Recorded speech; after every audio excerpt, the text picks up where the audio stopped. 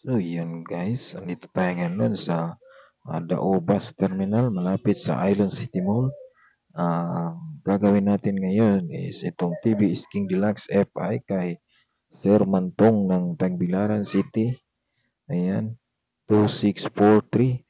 Ang uh, nakita kong problema dito is ayaw umandar. May display naman yung dashboard niya pagka-on ng susi Ayan, umiilaw naman siya, malakas naman yung kuryente, nagre-redondo naman. Ang nakikita kong problema is ito, walang lumalabas na kuryente pag kinabit dun sa high tension wire.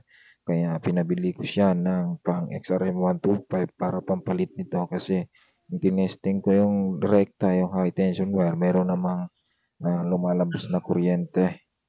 Ayun, um, kung may problema kayo na katulad nito, ito lang gagawin nyo. Tanggalin nyo yung spark plug cap, tapos etong dulo ng high tension wire, yan yung hinahawakan ko. Itatapat nyo lang yan. Doon sa may ano, dulo rin ng spark plug, ganyan. Tapos, i-start nyo. Pag umandar, kabit nyo, mapatayan nyo ulit. Tapos, eh, balik nyo yung spark plug cap. Pag ayaw, balik na ng bago. So yun guys, uh, napalitan na natin ng bagong plug cap ng XR125 at uh, umaandar na yung makina. Okay, thank you.